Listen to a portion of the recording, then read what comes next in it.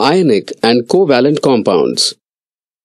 Objective To learn the difference between ionic and covalent compounds. Ionic compounds are unique in that they possess oppositely charged ions that are bound together by an electrostatic force of attraction. Sodium chloride, common table salt, consists of a sodium cation, Na+, and a chloride anion, chloride minus. As these ions bind together, they will form a cubic ionic crystal. In this sodium chloride ionic crystal, each of the sodium ions will be surrounded by six chloride ions. And each of the chloride ions will be surrounded by six sodium ions. Covalent compounds share two electrons when forming a bond between atoms. Chlorine, which will form covalent molecules, has seven electrons in the outer shell. It requires one additional electron to achieve the configuration of a noble gas. When two chlorine atoms join together, they will share a pair of electrons. Once bonding occurs, each chlorine atom will have 8 electrons, making the molecule more stable. Let's look at some of the differences between covalent and ionic compounds.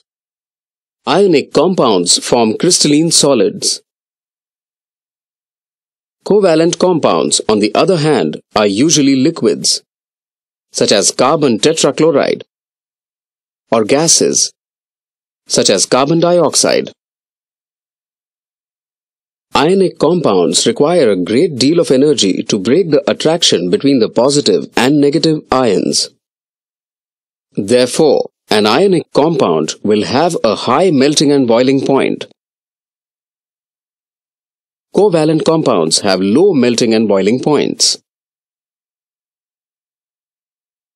When in a dissolved state, ionic compounds will conduct electricity. If our sodium chloride is dissolved in water, it will conduct electricity after separating into sodium plus and chloride minus ions. However, in a solid form, ionic compounds are good insulators and will not conduct electricity. Because covalent compounds usually do not dissolve into ions, they will not conduct electricity. Summary Ionic compounds are held together by ionic bonding. Covalent compounds are joined by covalent bonds.